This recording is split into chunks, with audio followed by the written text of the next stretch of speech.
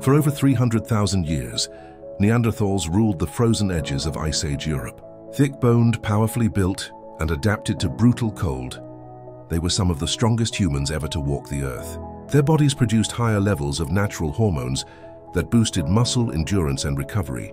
Their skeletons show massive muscle attachments, proof they were built like prehistoric powerlifters.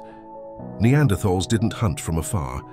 They faced their prey head-on, driving heavy, thrusting spears into woolly mammoths and straight-tusked elephants.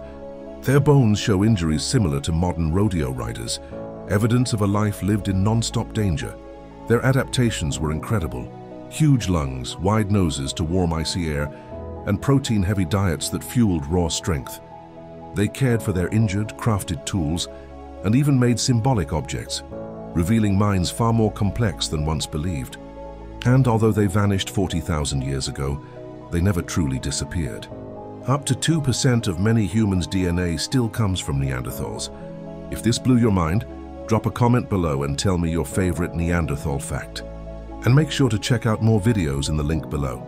There's a whole world of ancient history waiting for you.